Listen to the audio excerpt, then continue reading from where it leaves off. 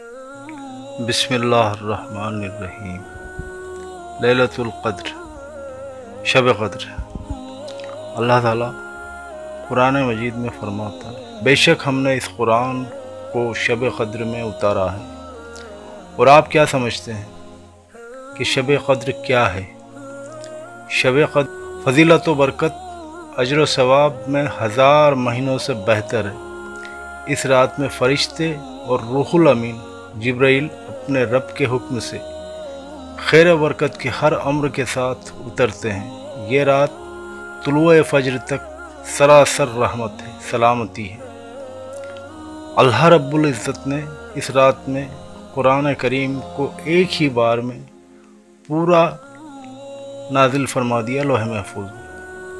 फिर कदर ज़रूरत वहाँ से साहिब कुरान पर कभी एक आयत मुबारक कभी एक सूरह मुबारक उतारी।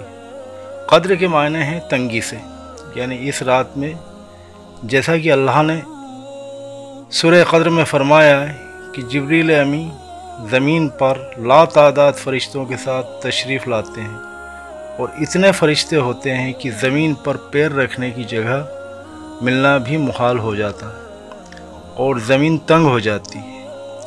और फज्र तक हर मुसलमान की मगफ़रत के लिए दुआ करते हैं। इस शब, यानी रात को पाँच ताक रातों में तलाश करने का अम्र है।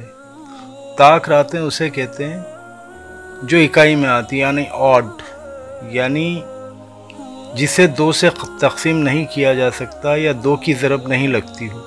आसान लफ्ज़ों में, जिसे दो जगह बराबर नहीं बांटा जा सकता, उसे ताक रात कहा जाता है।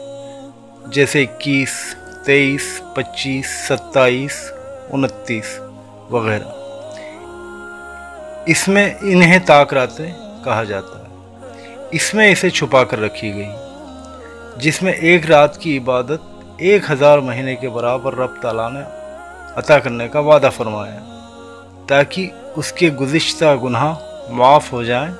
अब एक इंसान अपनी पूरी ज़िंदगी में एक एवरेज लाइफ साठ साल तो जीता है।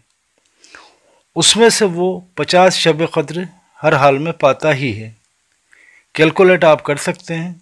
अगर वो मुत्तकी हो तो उसका नविश्ता अमाल बिल आमीन में लिखा जाएगा। सैदना गौसुल आज़म पीरान पेट दस्तगीर ने उम्मत मुस्लिमा पर एहसान फरमाया और सत्ताईस शब की जानब इशारा फरमाया। सैदना उमर फ़ारूक रज़ी अल्लाह ने फरमाया कि मैंने तदब्बर किया, गौर किया।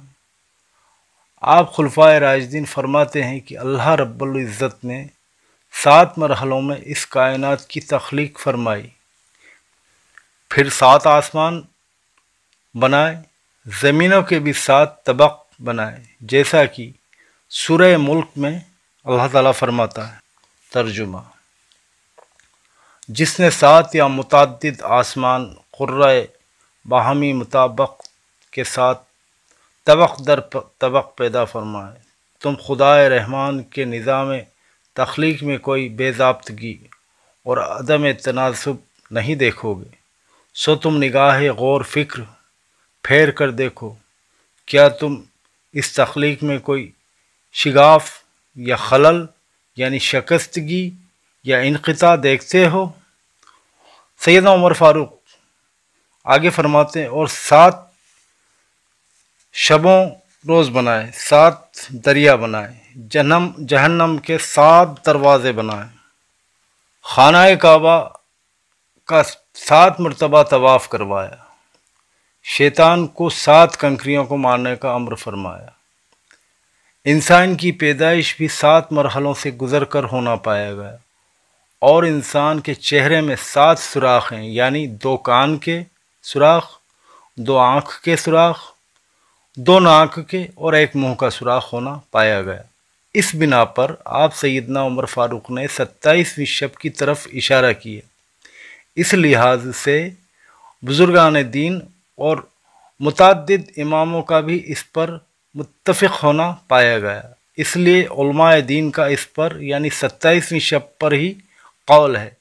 जैसा कि इस रात में निफल इबादत की जाती है और रब खालिक को राज़ी किया जाता है तो हमें ये रात बड़े अदब और इबादत में गुजारनी चाहिए और रमज़ान करीम के इस आखिरी अशरे में अपने गुनाहों की खूब रो रो कर मगफ़रत करनी चाहिए और शब कद्र की कदर करनी चाहिए, ताकि हमसे हमारा खालिक और हमसे हमारा मालिक राज़ी हो जाए।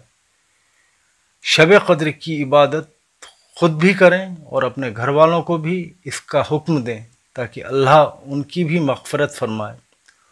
अल्लाह हमारे रोज़े, नमाज़ और तिलावत की गलतियों को माफ़ फरमा कर कबूल फरमाए। आमीन अल्लाह आमीन। अपना और अपने भाइयों का इस बुरे वक्त में, जबकि हम सभी लॉकडाउन से गुज़र रहे हैं, ख़ास ख्याल रखें। अल्लाह हमें और तमाम बनून इंसान को करोना नाम की वबा से निजात अता फ़रमाए, आका सलाम के सदक़े में, आमीन अल्लाह आमीन। अल्लाह हाफिज़।